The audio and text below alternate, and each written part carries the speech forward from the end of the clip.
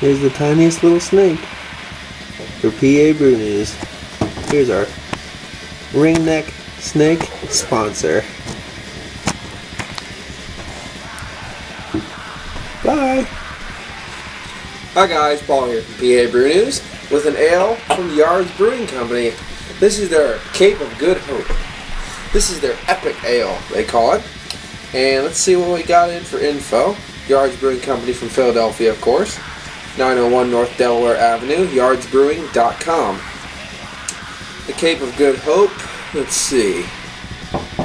You'd find solace in Cape of Good Hope is unfiltered, dry, hopped, uniquely aged, and reminiscent of something you'd find solace in on a balmy India Indian evening far away home from home.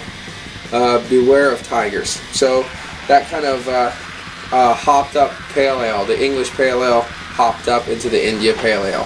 So this is an India pale ale, um, but I can't find the ABV on this one actually. So, oh well.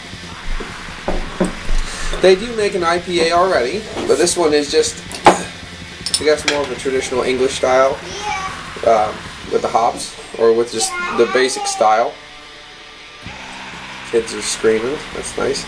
This one's colder than I usually drink for the reviews. This has been actually in my refrigerator.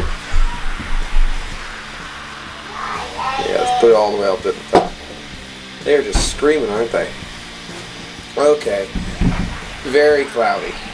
Very, very hazy. Mmm. A lot of those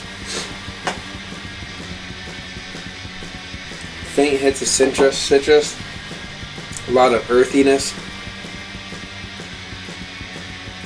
Slight pepperiness.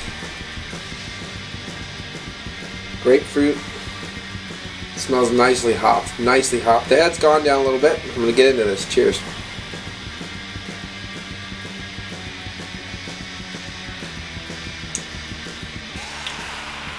Wow. That's nicely hopped. For Yards Brewing Company, Epic Ale does suit this title because their ales have this nice, rich, rounded, subtle tone to it that relaxes you, and they're just very well crafted. But they're very sophisticated in my book. They're not boom, look at me, look at me, you know that kind of um, attitude. They're more well-rounded, a little subtle, a little nuancy. This is in your face as far as the hops go. Damn.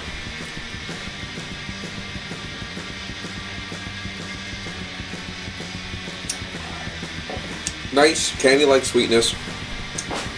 That kind of candy sugar sweetness on the malt.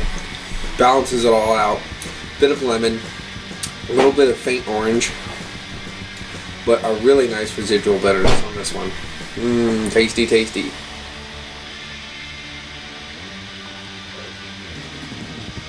Yeah. This is definitely a nice one. Um, the malt base is there.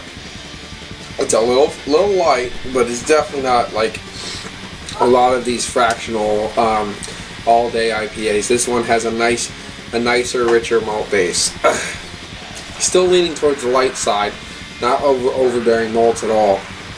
Dominated by a ton of hops, but still you have a lot of those residual sweetnesses in the in the malt to balance some of that out.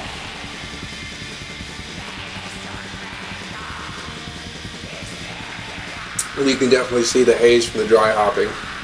Ah, hmm. This is a nice one. This definitely is.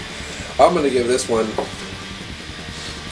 for their epic ale, their heavily hopped IPA, Cape of Good Hope, Yards Brewing Company. I'm going to give this one a 9. This is very, very nice and very tasty. Uh, this has been Paul from PA Brew News.